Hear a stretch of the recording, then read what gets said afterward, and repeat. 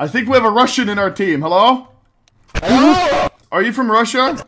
No, no, I'm from England, America! so fuck.